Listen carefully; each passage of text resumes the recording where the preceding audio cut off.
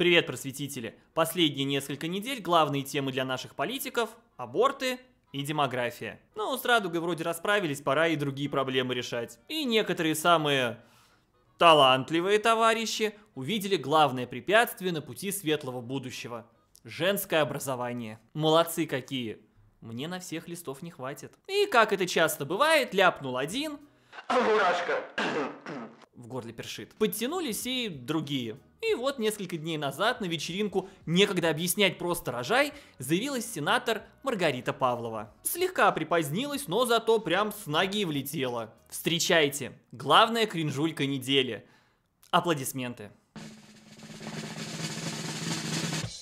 По ее словам, нужно перестать ориентировать девушек на высшее образование и перестать плодить молодых людей. Дальше цитата которые получают высшее образование, которое потом, по сути, ни к чему не приводит. И здесь, конечно, с ней сложно спорить. Маргарита сама отличный пример бесполезности учебы в университете. Два диплома, несет подобный бред. Тут она, безусловно, молодец. Держит планку. Отвечает за свои слова. И вот сегодня, детишки, мы попытаемся понять, почему высшее образование так опасно для молодежи в целом и для девушек в частности. В смысле необразованным стадом проще управлять. Что вы такое говорите? Мне иногда кажется, что голоса в моей голове придерживаются довольно радикальных взглядов. Но начать я предлагаю с уже традиционного мастер-класса от наших политиков и чиновников. Мои слова были вырваны из контекста. Заставка.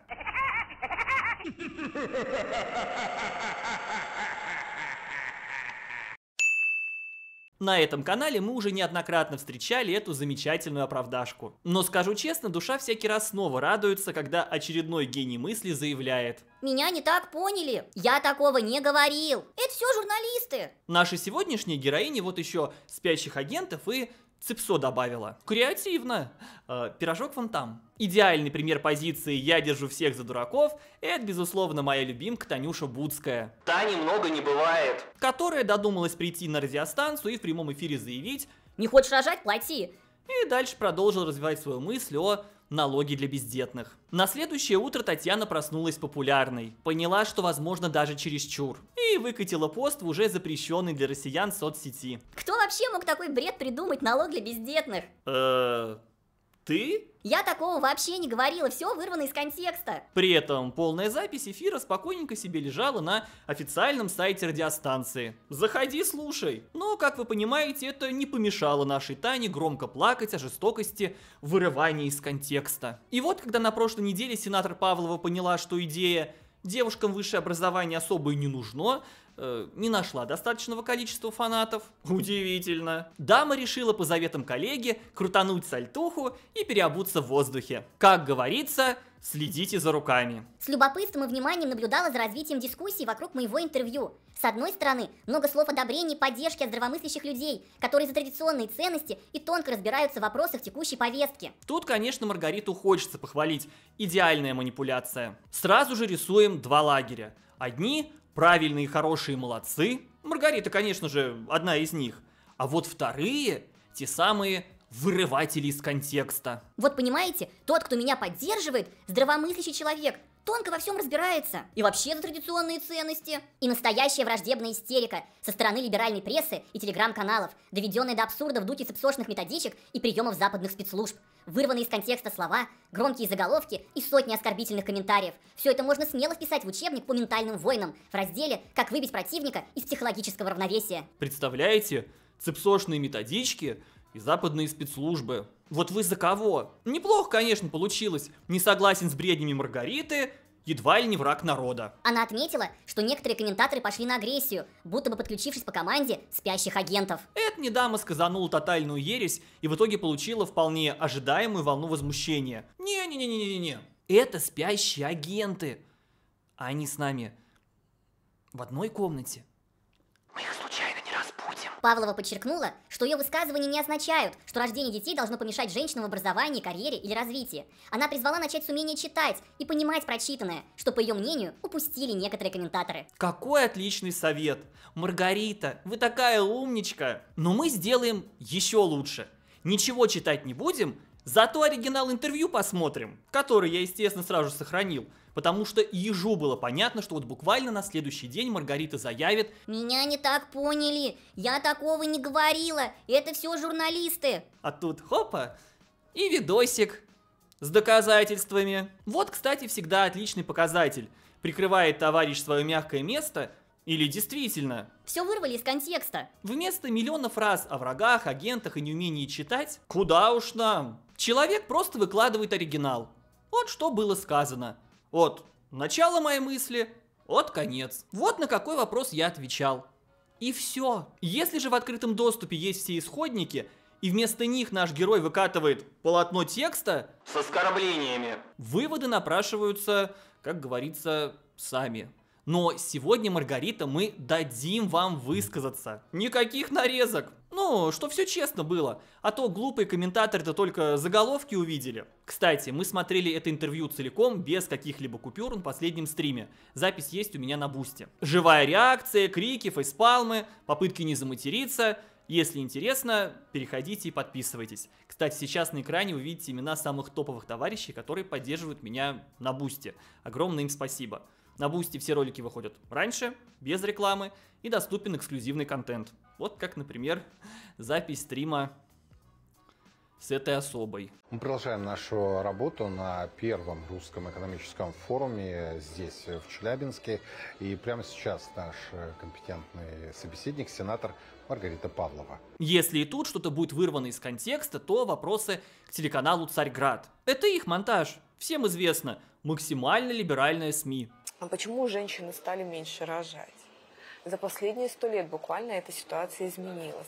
Потому что а, революция дала возможность женщинам работать. Кошмар какой. Опять во всем Советский Союз виноват. Как было бы здорово, если бы женщины не могли работать. Женщины массово вышли на работу, и, соответственно, они забыли про свои а, про свое такое женское предназначение. Говорит дама, стоящая не за политой. И э, вот сегодня у нас на секции э, такой крик души прозвучал. Да мы бы рады рожать, да не от кого.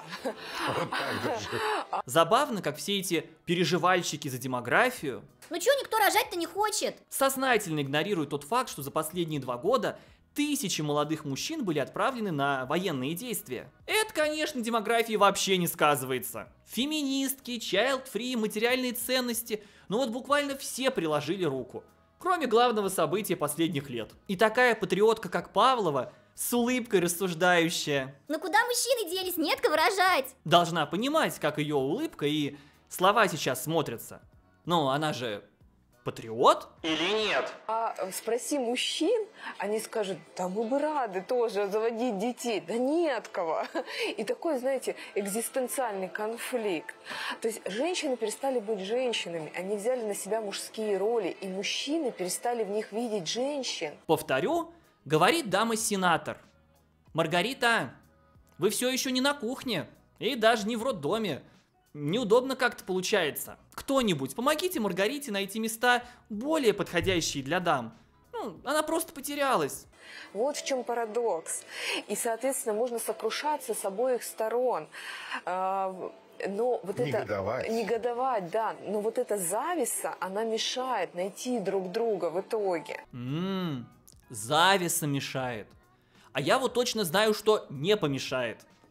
Орфоэпический словарь. Русский язык со стоповым. Одной стороне увидеть женщин, а, а женщинам мешает их сильные, сильно развитые стороны увидеть мужчин. И здесь вот уже идет конфликт ценностный. И, соответственно, чтобы стало все на свои места, нужно огромную духовную работу провести, нравственную работу, поставить все на, на- на место. Ну так и начните с себя, проведите духовную работу, поставьте все на свои места. Перестаньте играть в политика. Ну не для женщин это. Маргарит, если вы хотите заниматься настоящими женскими делами, вперед! Кто вам мешает? Но вы зарплатой 6 миллионов в год рассуждаете как остальным женщинам правильно жить? Начните с себя. Почему Таня из Хабаровска в первую очередь должна помнить о своем женском начале, предназначении, когда вы получаете миллионы и реализуете себя в традиционной мужской сфере? Что это за лицемерие? Почему вы вместо того, чтобы рожать и сохранять домашний очаг, даете интервью? У Маргариты три ребенка – но для традиционной семьи этого мало. У нас же демографический кризис. Да и родила наша героиня уже после получения образования. А вот остальных женщин она призывает рожать пораньше. Ну, возможно, просто не хочет, чтобы они ее же ошибки повторили. Лицемерие. Что-то я сегодня прям так раскашлялся. Ведь посмотрите, что происходит, когда девушка вырастает, ее на что ориентируют родители? У- родишь, убью. Не дай бог принесешь в подоле. Не дай бог, надо поступить в ВУЗ.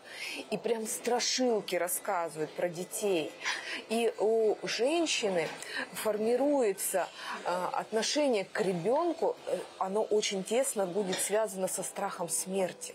Правильно. Надо говорить, рожай в никуда. Что? Оба только школу закончили, ни у девушки, ни у парня ни образования, ни работы? Конечно, рожайте! Зачем вашему ребенку нормальная одежда, еда, своя комната? А когда молодой папаша свинтит в закат, потому что он сам еще ребенок, или потому что он хочет нормальное образование получить, и карьеру построить, а не работать уже сейчас на самой низкоквалифицированной работе, ну, чтобы памперсы купить. В этой ситуации кто все расхлебывать будет? Что-то мне подсказывает не Маргарита. Родители не хотят для своих дочерей участи героинь беременна в 16.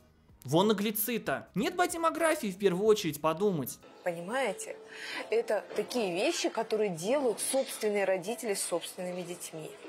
И э, девушку ориентируют на то, что ты должна сначала выучиться, сделать карьеру, э, приобрести квартиру, а потом замуж выйдешь, а потом детей рожаешь. Нет, конечно же, гораздо лучше, когда у тебя вообще ничего нет. Ни образования, ни денег. И в случае чего, чем ты своему ребенку поможешь?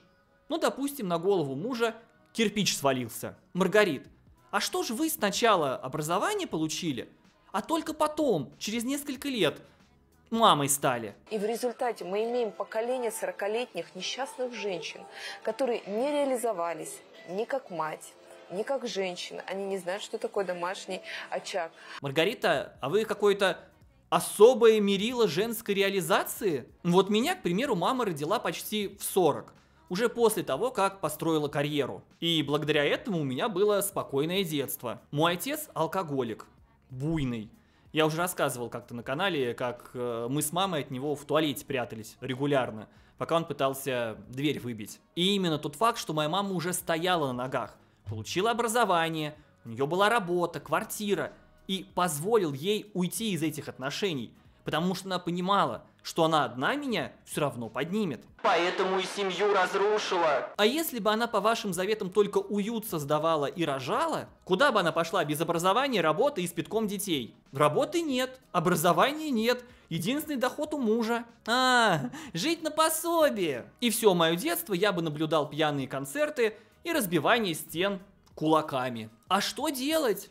А чем сильнее женщина становится, тем слабее мужчины рядом. Хорошо, вы так по своему мужу прошлись. Вы сенатор, а он, если я не ошибаюсь, не президент. Но я опять забываю. Маргарите-то не надо жить по ее заветам. Она птица особого полета. Жить правильно должны только мы. Только наши дети могут ходить в обносках. Им кружки не нужны, нормальное питание переоценено. А, Очень много сейчас нас пытаются пустить по ложному пути, говоря о том, что демографию можно поднять с помощью экономических мер. Дайте семье, молодой семье побольше пособий, квартиры, машины. И нам говорят, что вот пока этих вот факторов не будет, э, молодые люди не примут решение о том, чтобы родить ребенка. Маргарита, мы уже поняли, что чужие дети могут жить буквально вот в коробке из-под холодильника. Главное, что ваши в тепле. Это совершенно ложный путь. И э, опыт Арабских Эмиратов это доказывает, потому что э, там ну, просто забросали э, семью всевозможными мерами поддержки, экономическими мерами поддержки, и при этом коэффициент рождаемости не растет. Не растет. Не растет. И то, также получилось поколение женщин, которые имеют много денег, но не могут завести ребенка. Им то не от кого, то некогда, то еще что-нибудь. То есть это вот опыт этой страны нам показывает, что это ложный, совершенно ложный путь, по которому нас также пытаются направить. И ответ на эти вопросы, опять же, лежит в духовно-нравственной э, сфере. Вообще, конечно, потрясающая позиция. Рожайте как можно раньше. Не думайте ни о работе, ни о образовании. Финансовый вопрос вообще не должен волновать. Но при всем при этом не стоит рассчитывать на поддержку государства. Это путь в никуда. А на какие шиши жить? Ну вот реально те люди, которые вот подобные вещи заявляют, им просто нужно, чтобы появлялось все больше и больше народа. Как эти дети будут жить? На что их будут воспитывать родители? Им наплевать. Нет, ну вот реальный человек, которого заботит, как будут жить эти дети, в каких условиях они будут расти. Он такое сможет заявить? Не, ну, ну правда. Это вот меня действительно интересует. То есть э, система ценностей, она должна быть пересмотрена. Все должны жить, как вы хотите. Но эти же правила при этом к вам неприменимы. Неплохо, неплохо придумано. То есть э, система ценностей, она должна быть пересмотрена. Она должна быть пересмотрена с точки зрения э, того, что э, когда э, не, нужно перестать девушек ориентировать на получение высшего образования. Внимание! Вопрос. Главный вопрос сегодняшнего выпуска. Что здесь вырвано из контекста? Что конкретно не смогли прочитать глупые комментаторы в интернете? Именно это ваше предложение журналисты вот буквально слово в слово и использовали в своих статьях. Маргарита, где цепсоты со спящими агентами? Нужно э, перестать э, плодить количество молодых людей, которые вот это получают высшее образование, которое оно потом, по сути, э, ну, ни к чему не приводит их. Они либо начинают работать совершенно по, по иным специальностям, либо еще что-то. И вот этот поиск себя, он затягивается на долгие года, и в результате выпускается вот эта детородная функция. Маргарит, но если разобраться, вы же тоже работаете не по специальности. Вы не заканчивали цирковое училище, а так великолепно косплеите Скобороха. Павел, вы такой юморист, боже, боже, продолжайте. Правильно, одни в роддом, другие в армию. Как-то посмела челядь образование получить. Маргарита, а вы сами зачем в ВУЗ пошли? Не беда, что для многих работодателей высшее образование, вот просто корочка, это тот пункт, который вот просто необходим. Нужно, чтобы было высшее образование. Даже неважно какое, просто как некий статус, как факт того, что человек умеет учиться. Э, зачем нам это? Вы же детей все равно будете в нищете растить, поэтому надо сокращать количество людей, у которых есть высшее образование. Вот, Маргарита его уже получила, а остальным и не надо. Потрясающие, конечно, разговоры. Нужно сразу же и на всю жизнь, вот буквально 18 лет, выбрать тот путь, по которому ты будешь всю жизнь шагать. Это же так легко. Получил образование, а работает по другой специальности. Ну совсем обнаглели. Ну крепостное право верните. Никто ничего менять не будет. Винят в, в том, что вы хотите а, отмотать время назад. Не опасаетесь этого? А что в этом страшного? Мы все время э, считаем, что наши предки э, были ну, какими-то недалекими, глупыми, а мы все время идем в какое-то развитие, в какое-то мифическое развитие. Дама, поинтересуйтесь, пожалуйста, сколько жили ваши предки. На досуге посмотрите, как выглядели 35-летние женщины с 10 детьми в начале 20 века. Но время показывает, что это, что развитие это равно деградации иногда в некоторых смыслах. И нужно наоборот посмотреть в глубину веков, в глуб- в глубину э, наших э, опыта наших предков. Ведь что такое православие? Если вот так задуматься, то это свод законов, правила, по которым жили наши предки. И мы должны эти правила охранять. Удивительная избирательность. А вот предки бурятов жили не по православным законам, мои, к примеру, по католическим. У нас еще и мусульмане есть. Но вообще меня, конечно, больше всего радует, как у нас опять всю историю Советского Союза буквально так разом за скобки вынесли. Если мы начинаем нарушать правила, то жизнь нам все равно и время покажет, что мы ошиблись. Мы где-то ошиблись. Да, и вы живой пример, по вашей же логике. И эту ошибку важно найти. И эту ошибку и важно вернуть, вот есть такое мудрое выражение, вернуть все на круги своя. И вот пока мы не вернем все на круги своя, мы будем все время запутываться и ходить по кругу. Маргарит, когда увольняетесь-то? Пора место мужчинам освободить. И, и это не развитие. Мы будем обрастать материальными благами, благосостоянием. Но развитие это не в этом. Сказала дама с зарплатой 6 миллионов в год. Вот такое вырывание из контекста. Что и откуда вырвали, известно, похоже, только одной Маргарите. Единственное, что могу сказать, врать нехорошо. И интернет помнит все. Слышь, увольняйся. Друзья, если вы считаете, что это видео заслуживает большого количества просмотров, то просто поставьте лайк, это очень поможет. Кроме того, не забывайте про мой телеграм, там интересные все новости образования появляются гораздо быстрее. Если готовы поддержать меня, то переходите по ссылке в описании на мою страничку Бусти. Именно там, кстати, и доступен полный обзор на Маргариту. Э, ну а я встречусь с вами на следующей неделе, как обычно, в понедельник в 17.00 по Москве в моем новом видео. Всем хорошего дня и до встречи.